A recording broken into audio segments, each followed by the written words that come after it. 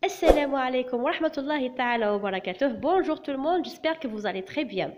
On se retrouve aujourd'hui dans une nouvelle vidéo pour apprendre les jours, les mois et les saisons de l'année.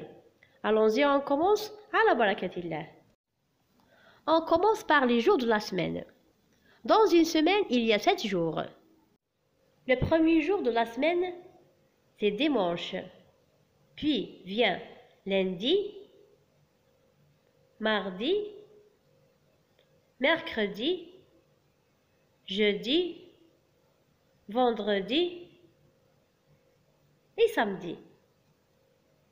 Vendredi et samedi font le week-end.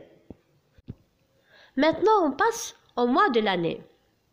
Dans une année, il y a 12 mois. Le premier mois, c'est janvier. Le deuxième, février. Mars, avril, mai, juin, juillet, août, septembre, octobre, novembre et décembre. Passons maintenant aux saisons. L'année commence par l'hiver, puis vient le printemps,